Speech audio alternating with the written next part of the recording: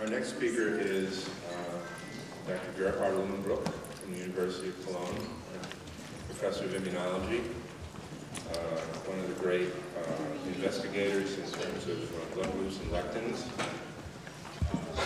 Interesting conversationalist. I to meet uh, Dr. Uhlenbruck and the author, uh, the speaker's dinner on Thursday, and uh, was surprised by the, the great length and breadth of his tastes and reading material. I think you're in for a first-grade uh, experience uh, because of the sheer uh, magnitude of uh, this man's career. And uh, yet at the same time, I, I believe that these are uh, going to be truly some of the more interesting points that you'll hear at the conference. And so to not use up any more time, please extend a, a, very warm welcome to our guest speaker from Germany, Professor Erl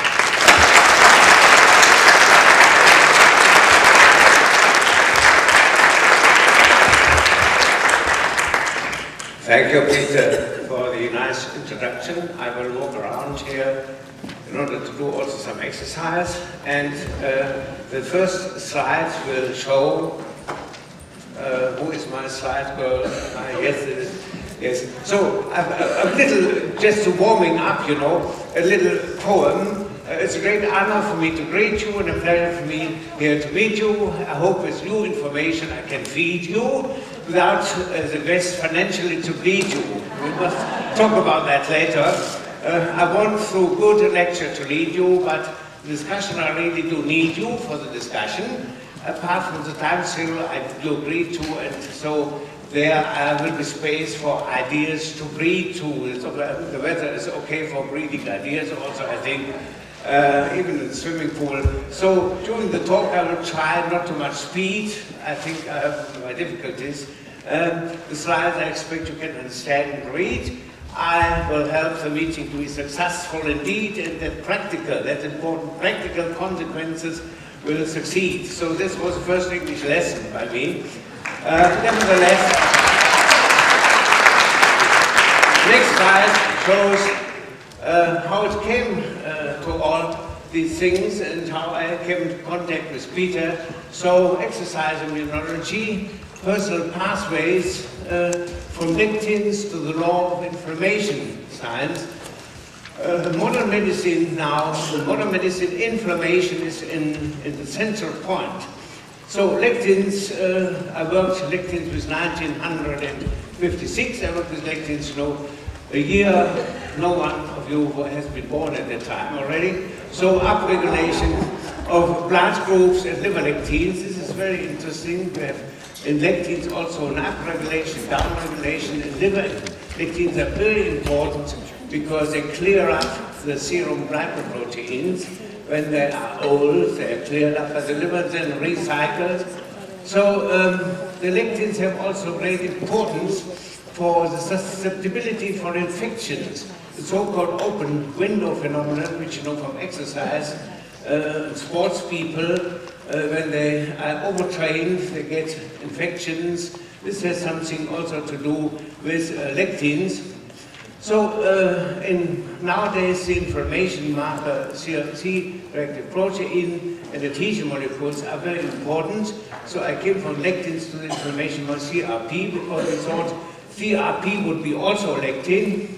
Isn't, but it has binding properties similar to, and this has something to do, you know, inflammation markers are very important today uh, for rehabilitation medicine or monitoring coronary groups and uh, I have uh, in Germany also initiated a great initiative, uh, sports, exercise with cancer survivors.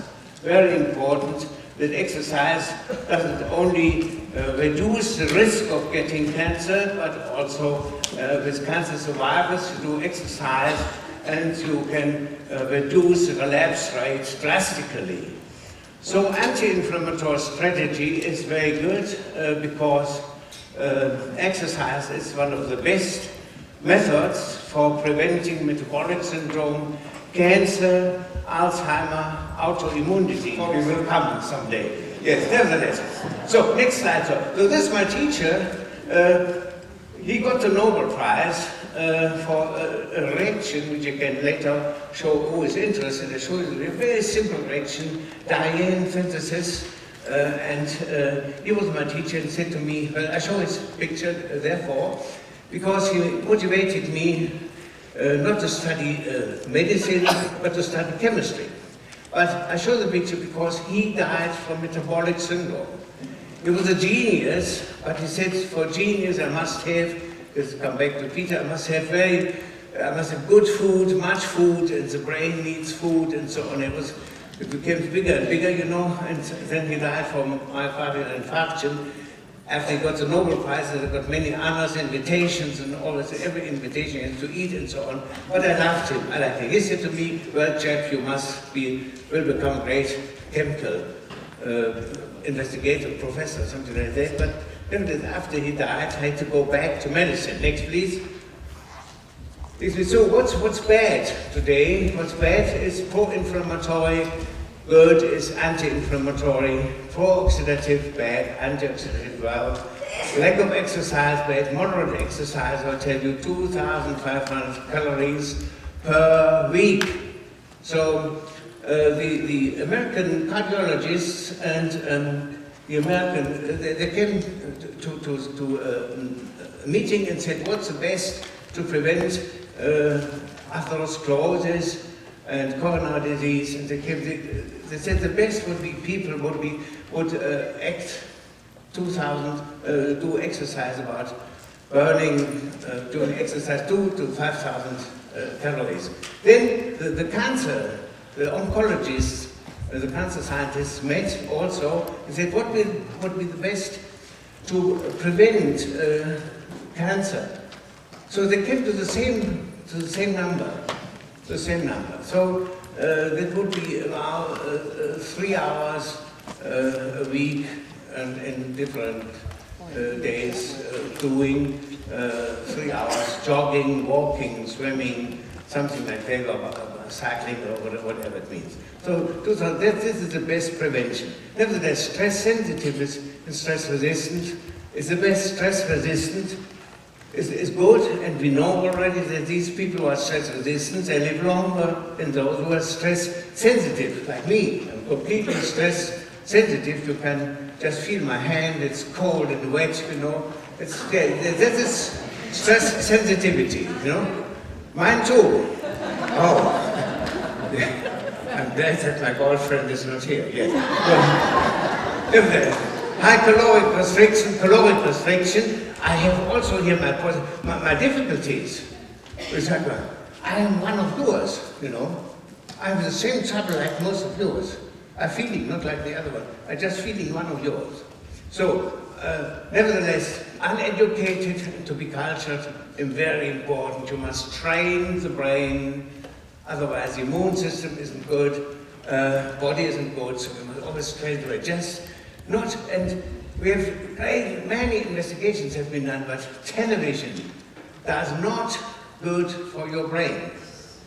They have told, they've done investigation, and even it increases the risk of getting Alzheimer. It's, it's, it's curious, but I have always the impression that something, uh, I don't know whether Alzheimer's is the one to produce television or one to look at television, I don't know. only in, informed. Yo, so where is only to be informed, there's a computer, computers, you know, the people are completely informed, but, but not creative anymore. They just go to the internet, you know, and I have, so many I've looked for lectures, I hate PowerPoint. You know, people take it all out from internet, it as their own production out, you know, and people say, oh, wonderful, marvelous, you know, but it's all from internet, they, they take it out. No creative, you must be creative. It's very important. Don't, don't go to the internet, get. Informed is good, but to be creative is better.